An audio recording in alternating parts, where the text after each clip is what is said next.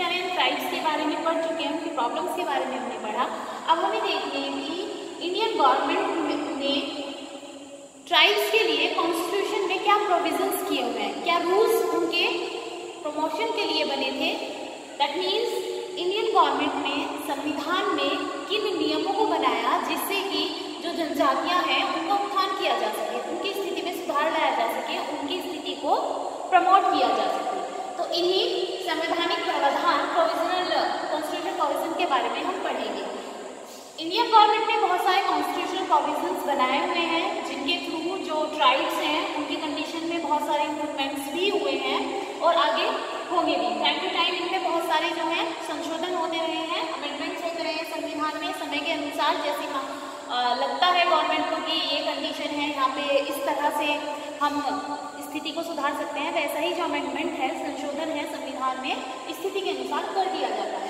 बारे में हम पढ़ेंगे। फ़र्स्ट इसमें है article 46 indicate to state educational and economic right of tribes are secure save them all like social injustice and harassment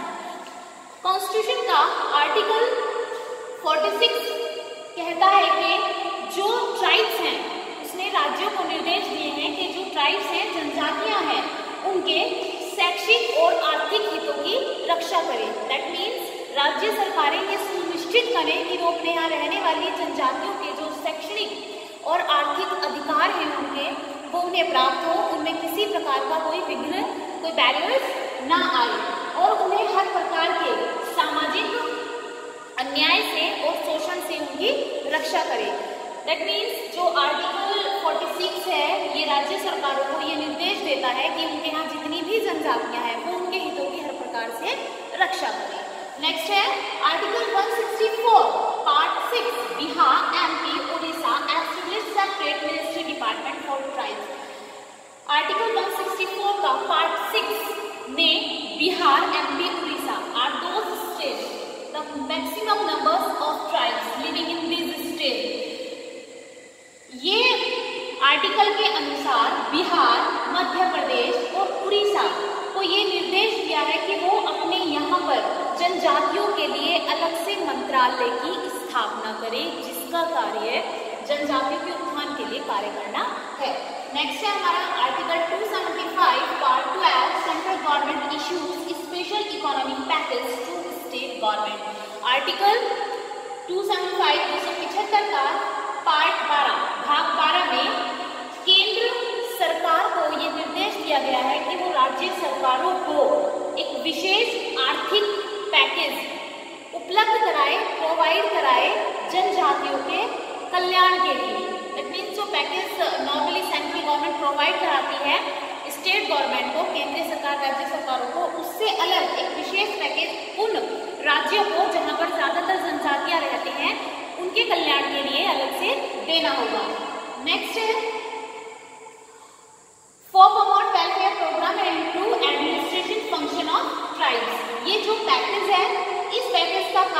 जो है कल्याण कार्यक्रम जो कि जनजातियों से संबंधित होंगे और उनसे संबंधित जो प्रशासनिक कार्य हैं उनमें सुधार लाने के लिए इस्तेमाल किया जाएगा article 330 and 332 secure the seats in parliament for tribes article 330 और 332 के अनुसार संसद के दोनों भवन में लोकसभा एंड राज्यसभा की जो विधानसभा सीट्स हैं, उसमें जनजातियों के लिए सीट्स रिज़र्व की जाए, जिससे कि वो आगे बढ़ सके और उनके उत्थान के लिए वेलफेयर के लिए कार्य हो सके। नेक्स्ट है article 335 part 4 select the people for public service special attention for tribes related this base law 7.50 percent seats are reserve for tribes in government job यह निर्देशित करता है कि सरकारी नौकरियों में लोगों का सिलेक्शन करते हुए, यानी कि जो एडवर्टाइजमेंट निकाले जाते हैं खाली सीटों के, उसमें जो सरकार है, वो ट्राइब जनजाति के लोगों का विशेष ध्यान रखे। इसी को ध्यान में रखते हुए 7.50 परसेंट सीट्स रिज़र्व है जनजातियों के लिए सभी सरकारी नौकरियों में। Article 338 decided that president have right appoint an officer who is give professional suggestion for tribe 338 राष्ट्रपति को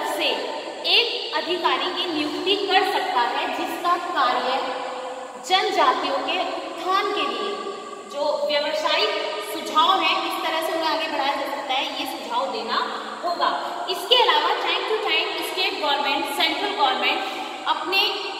स्थिति के अनुसार जो ट्राइब्स हैं, उनके लिए अलग से नियम बनाती रही हैं, उनमें संशोधन करती रही हैं और जो ट्राइब्स हैं, उन्हें सामाजिक शोषण, सामाजिक अन्याय से बचाने के लिए काम करते रहे हैं वह यह सुनिश्चित करते हैं कि ट्राइब्स का किसी भी प्रकार से कोई हानि ना हो, उनका किसी प्रकार से कोई शोषण ना हो। उन्हें प्रोफेशनल ट्रेनिंग प्रोवाइड कराई गई एजुकेशनल राइट्स दिए गए हैं special scholarship for their childrens available in every area तो इस तरह से उनके लिए हर एक सुविधा का जो है संचालन सेंट्रल गवर्नमेंट स्टेट गवर्नमेंट के द्वारा किया गया है, जिसका रिज़ल्ट ये है कि अगर हम कंपैरिजन करते हैं तो ज़्यादातर एरियाज़ में जो ट्राइब्स हैं उनकी कंडीशन में बहुत ज़्यादा इम्प्रूवमेंट्स हुए हैं।